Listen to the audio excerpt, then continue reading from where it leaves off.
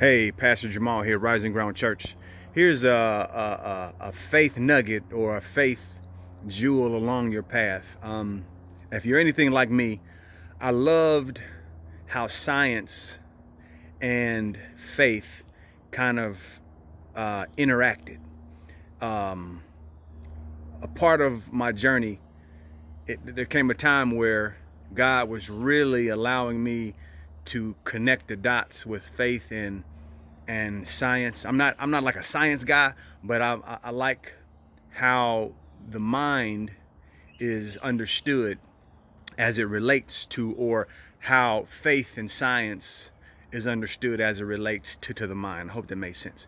Um, but sometimes that could be dangerous.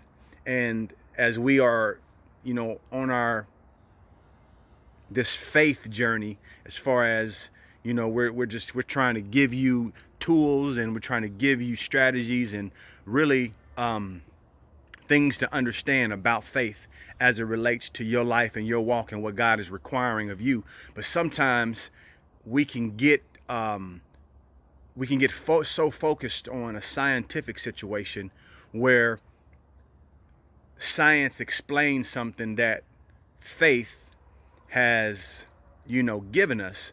But what happens is if we get, well, I say this, there, there's a term that said it's demystifying something that's mystical.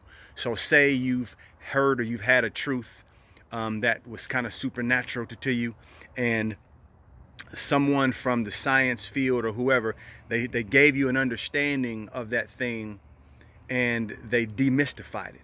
The problem with demystifying a lot of things that are supernatural in our uh, understanding per se is when you remove the supernatural from it, then you remove the element of faith.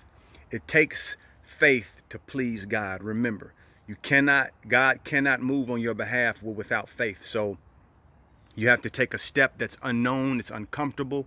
You don't recognize it from your human perspective. And it's those moments that create the breakthrough. So when you demystify something that is you have you have known to be supernatural per, per se, then you remove the element of faith out of it, and then God can't move.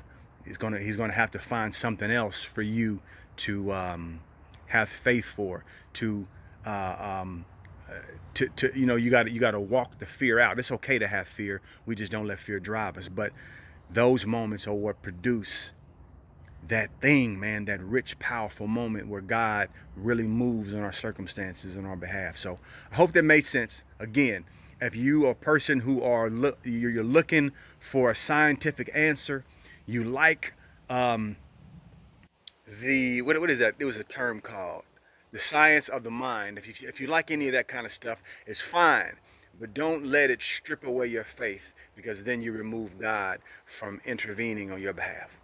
Pastor Jamal Rising Ground Church. I'll talk to you. Peace.